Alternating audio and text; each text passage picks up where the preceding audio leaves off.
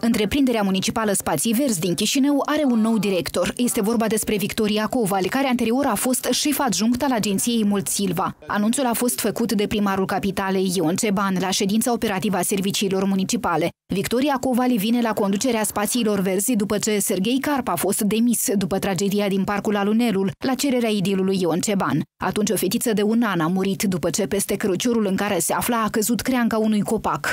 Procuratura Chișinău și Poliția Capitalei au deschis anchete penale. Neexecutarea sau executarea necorespunzătoare a atribuțiilor de serviciu de către persoane publice se pedepsește cu închisoare de până la șase ani, cu interdicția de a ocupa funcții publice timp de 10 ani.